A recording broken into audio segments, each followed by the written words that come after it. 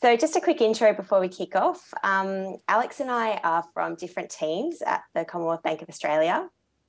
So we came together with some of our team members back in January um, of last year on a project basis to undertake the research that we're going to walk you through today. Um, so for those of you not familiar with the organisation, um, we are the largest bank in the Southern Hemisphere and we're listed on the ASX with around 16 million customers that we service. So I lead the bank's cybersecurity training and awareness function. Um, we have quite a small team of five and we service close to 40,000 employees. So pretty much everything that we do um, has to scale. Alex um, is joined me from the behavioural data science team at CBA. Um, so he brought an amazing skill set to our research um, and he has a background in operations engineering and behavioural research um, and was actually the author for one of the scales that we ended up using um, in our research. So looking at the problem space that we were trying to investigate in the research, um, it's one that many of you are probably quite familiar with. So our observations um, were that mass marketing type approaches to awareness just generally weren't correlating with um, a widespread improvement in performance at actually detecting cyber threats. Um, we'd also observed that um, just kind of providing the rules and then saying follow the rules to your employee base can be quite demotivating and it doesn't necessarily stick um, because human behavior and decision making is obviously much more complex than just being told something and then being expected to apply it, particularly when you're dealing with um, potentially new and unfamiliar scenarios. Um, we'd also read a lot of research that said that um, the decisions and the actions that people take with respect to cybersecurity threats are heavily influenced by the way they perceive risk and how they see their own susceptibility to a threat. Um, and that isn't actually always commensurate to the real risk, which makes it quite hard to affect change um, from our educator standpoint if you really aren't dialed into those differences. So while we knew that the logical conclusion for all of this was that training should be personalised and should take into account demographics and individual risk profiles, we found it really hard when we were doing our research to find examples of where that had been effectively done, particularly in an organisation as large as ours, um, and in a way that was um, scalable to tens of thousands of employees.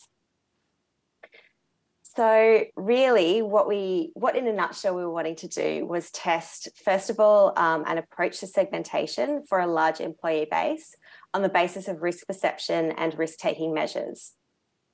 We also wanted to see if there were any other additional demographic indicators that for our particular staff base correlated with an accuracy um, in terms of detecting threats.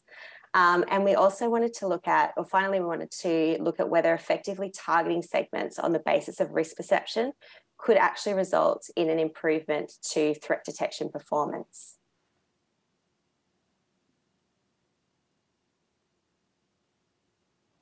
So looking at um, what could we use to segment uh, our stuff, we um, leveraged some of uh, the previous research that my previous team developed on the concept of um, risk perception and risk taking and how the combination allows us to segment um, essentially humans.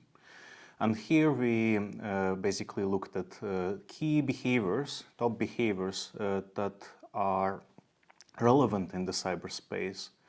We distilled that into a set of five dimensions, so security, personal data, private privacy, negligence, and cybercrime, and then turn that into a set of scales. Um, so the scale that we ended up using uh, is called CyberDospert, and it allows us to segment people into four categories. So people who are relaxed about cybersecurity, people who are ignorant about cybersecurity, so they uh, see uh, no risk essentially, and they also take no risk uh, that to their best knowledge. Um, and also opportunistic people who see the risk and take the risk. And finally, the anxious, the ones that see a lot of risk everywhere and don't take the risk. And um, if, um, if we apply this scale to different populations, we start seeing very interesting segments forming, especially cross-culturally, because different cultures seem to respond differently. And that was in line with a lot of previous research, but finally we had a scale and we could measure it. So we ran several representative samples in our previous research on, for example, the US population, and we see a typical risk aversion uh, relationship where you see less risk, you take more risk, and when you see more risk, you, see, you take it less. So that's a usual, let's say, Western culture type of relationship. So you don't engage in risk if you perceive it. Uh, the UK had a similar type of response uh, and similar type of segmentation, varying rates of uh, proportionate, um, uh, say, ignorant opportunistic segments.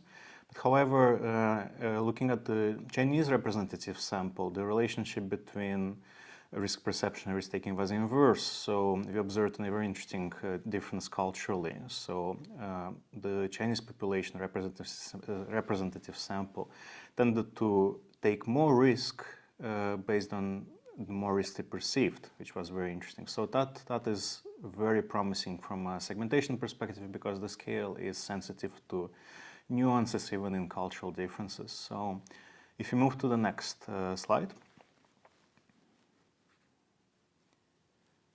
So once we landed on the segmentation approach and decided to use the cyber Dospert scale that um, Alex just spoke to, we were interested in looking at what we could find about interventions that were likely to work based on applying this kind of risk taking and risk perception lens to segmentation.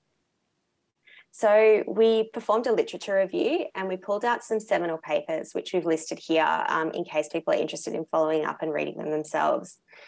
Really, though, um, what it boiled down to was us taking elements of other research and hypothesizing that if we could focus on those two quartiles where risk perception was low and aim to uplift that risk perception, people would be willing to spend longer assessing potential threats, and that this in turn would actually improve their detection performance. Um, and I'm sure that anyone who runs a phishing simulation program here is really familiar if you do any kind of interviews or surveying of that subset of people who are consistently um, poor performers in phishing simulation. You'll often hear that refrain that, look, I'm just really time poor. So when emails arrive, I just want to action them and get on with my to do list.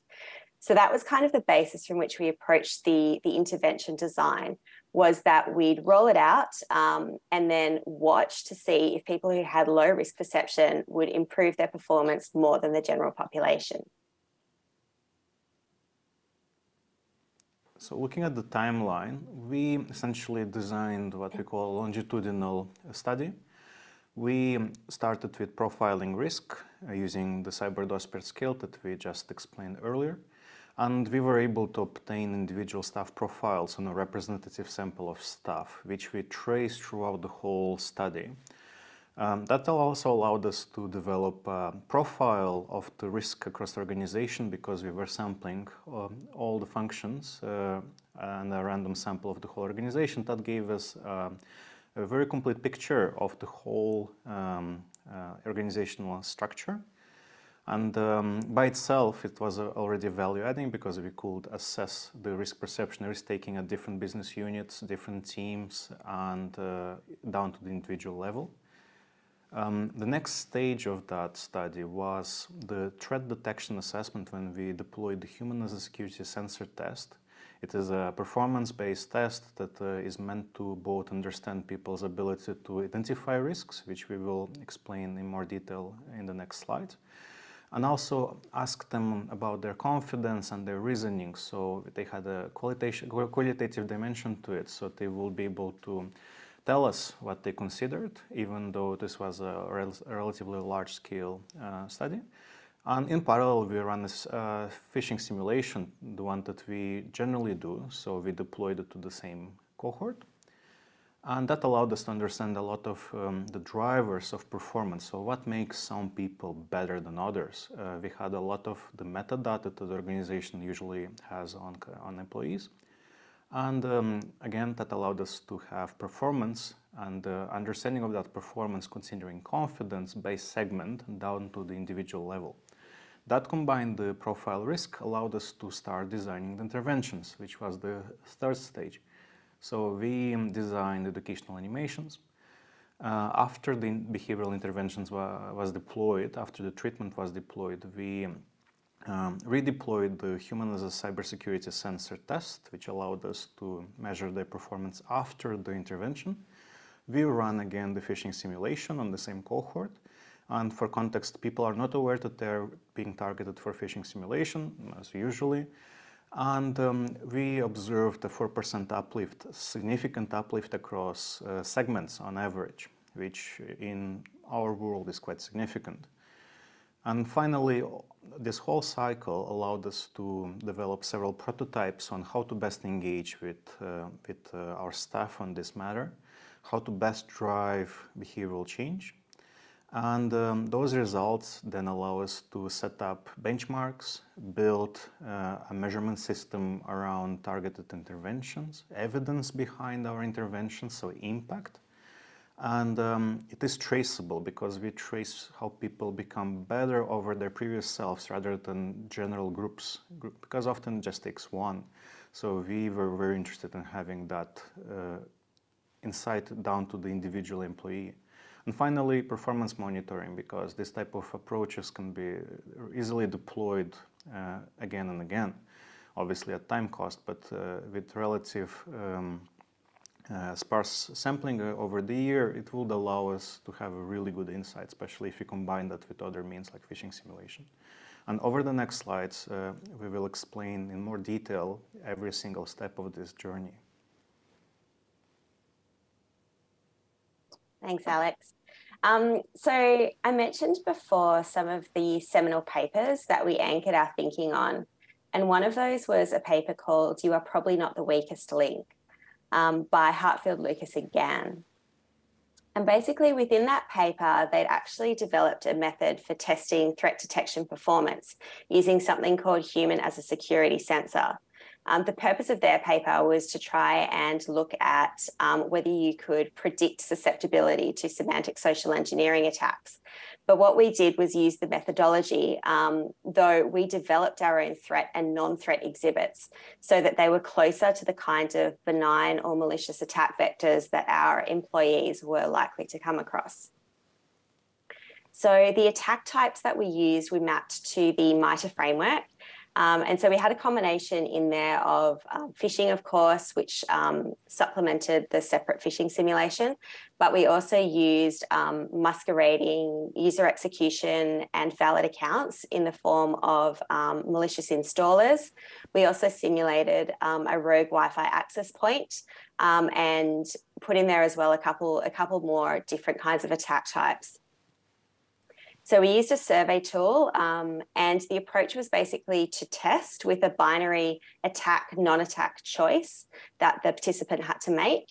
Um, then they had to give their confidence um, in their answer and that was um, mapped on a scale. And then we also put in a free text form so that we could drill down and do some analysis, basically to um, to enable us to do some topic modeling later down the line and to try and follow people's logic to see if that kind of logic was sound when they were um, determining whether or not something was an attack or whether it was benign. So we use the same test um, before and after the intervention. The key difference being that the second time around, um, participants receive feedback um, on how they performed um, after each exhibit. So they got that kind of just-in-time learning um, at the end of um, each like selection of attack or non-attack.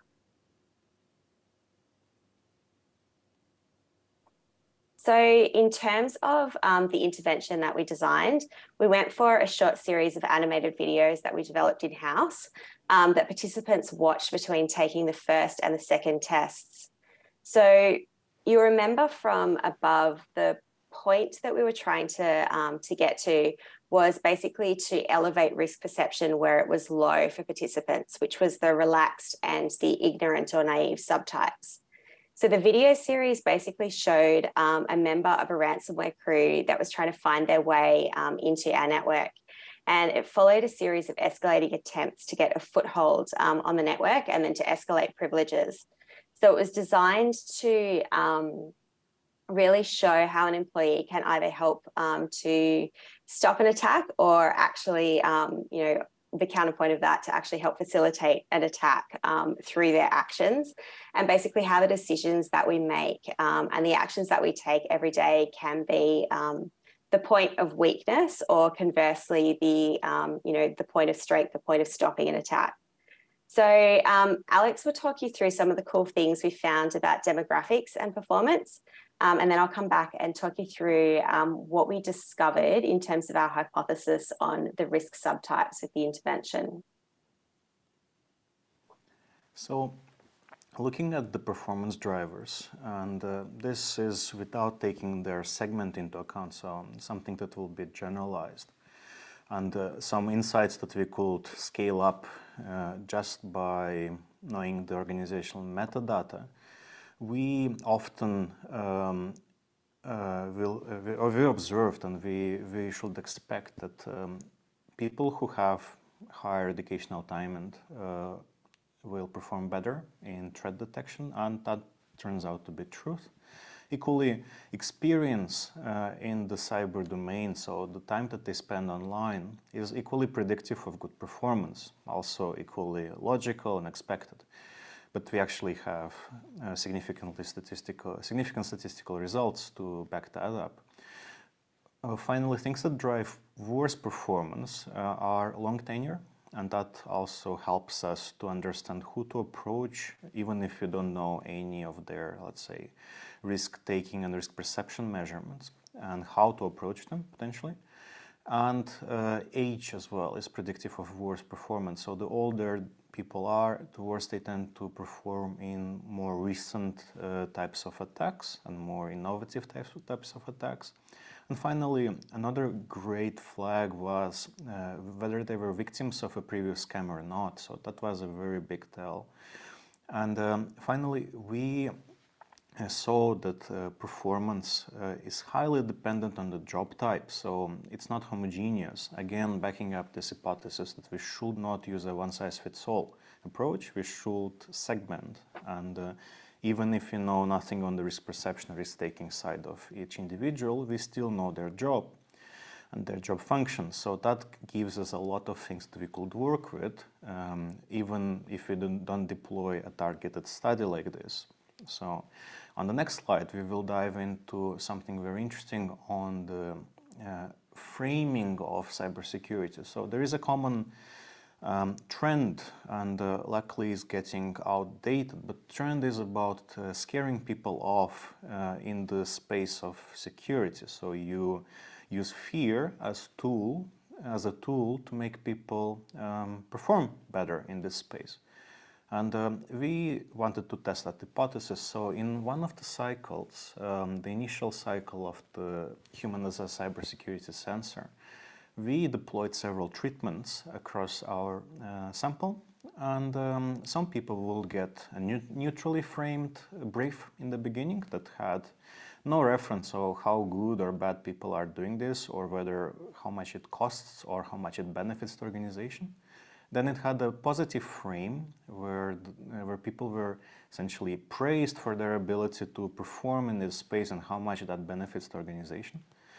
And a negative frame where people were briefed before their test uh, on how people are terrible on, on performing in this task, how it is important for them to be vigilant because naturally they will be bad about it and it costs, costs the organization. So we used fear there.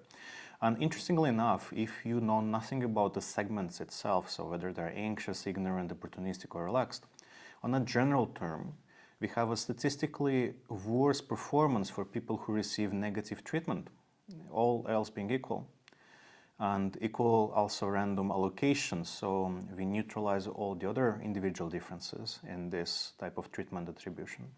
And uh, people who received neutral or positive treatments performed significantly better, statistically significantly better. Um, considering the weighted versus unweighted scores, um, just to explain more on the nuance of the value of the weighted score, if you take people's confidence in their response into account, you can uh, moderate their lucky guesses. So if someone is not confident at all, let's say they say, I'm not confident at all, I, I rate zero on my confidence, and I still get a right answer. Zero will neutralize that answer, so my confidence will neutralize my answer. So my lucky guess is neutralized, and my weighting will show a result of zero, even though I performed well. So that will uh, highlight uh, what we call actual skill. So people who know what they're doing, plus they respond with very high degree of confidence, get the full points. versus people who made a lucky guess, 50-50, flip a coin, they will not get um, the point. And that gives us a much better insight into actual skill in performing the, this task. And equally, traditionally, we use the original score without any weighting to just understand in general whether people have an intuition around this space that would warrant their performance. And in fact, we see very um, like, uh, significant differences across the board. But in terms of negative and positive treatment, this uh, relationship between positive and negative treatment con is consistent both in the weighted, skill-based, and um, the unweighted performance score. Diving into the segments, we interestingly enough observed that there is one segment that clearly benefits from negative frame and that negative frame is best um, performing on the uh, on the relaxed segment. So people who are not uh, very conscious about the risk they are facing, the negative frame tends to wake them up. But luckily for us, that segment is very small relatively to the rest. So very, there are relatively few people in our organization, at least, that uh, will be classified as relaxed. All the rest except for the ignorant segment, uh, showed this type of um, response to negativity with a worse performance comparatively to the uh, positive framing or the neutral framing. So if you don't know nothing about uh, your segments and who you're dealing with, just try to frame it positively when you design your communications around uh, people's cybersecurity behavior or any call outs for them to perform better praise them, and that will generally lead to better results, except for people who are very relaxed about the situation. They might benefit from a, a slight negative push in that direction. But again, one size does not fit all. And over the next slide, we will dive in other considerations that we had Thanks, Alex. So coming back to um, our hypothesis then that segmenting based on risk types would improve detection and whether or not that was correct and whether or not we had our intervention dialed in enough. So basically we found that across the board, we saw an increase in detection performance, which supports existing research that recency of training is an important factor um, when you're looking at actual um, performance with relation to cybersecurity threat detection. But what we were trying to do was influence performance based on risk perception. And when it came to that, we were partially right. So we were anticipating that we'd see the greatest improvement in the two subtypes with low risk perception, which were relaxed and ignorant and naive. And while we saw the greatest improvement in um, the relaxed subtype, which is the low risk perception and high risk taking, actually the other significant improvement in performance came from the opportunistic subtype, which is high risk perception and high risk taking. So, our theory here was that what our intervention did was basically help that subset feel the consequences of high risk taking approach and the benefit to be derived from tampering that may have had the same effect that we were after of adjusting the motivation to expend mental energy in unpicking whether something was likely to be an attack or not. So, in terms of what we can glean from this um, with regards to how to tailor, tailor training by risk type, so obviously the framing is actually really important, as Alex has just covered. So, depending on who you're talking to and how they respond to risk, they're more likely to change behavior if you can emphasize the risk of negative consequences for certain subtypes. And on the flip side, if you can focus on the power of positive change and the greater good for other subtypes. But what we walked away with was obviously the fact that we really want to do some more research in terms of understanding not just how we pull that risk perception lever, but actually like how we influence the risk taking as well, because it seems like we might have accidentally done that through the course of our experiment. So we're coming to the wrap now.